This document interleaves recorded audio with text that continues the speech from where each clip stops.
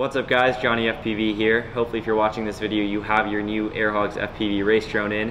In this video, I'm gonna go over the basic controls, how to get you up in the air, and really enjoying this awesome little drone. So the first thing we're gonna go over is using the throttle and how to hover using the throttle. Hovering is basically having the drone sit in the air as if it was on a tripod, um, and that's gonna allow you to use all the other controls, so let's get to it.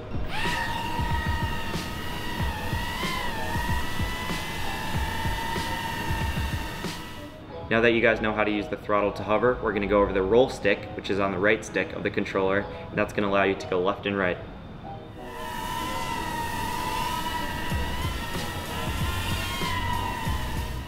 Also on the right stick is the pitch. The pitch is gonna allow you to go forward and backwards.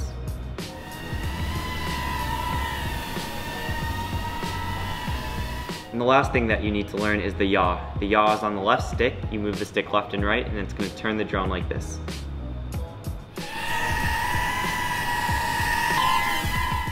Using all four things that we just learned, it's gonna enable you to take full control of your race drone and really have some fun flying this thing. The world is your race course. I hope you guys enjoy your FPV race drone.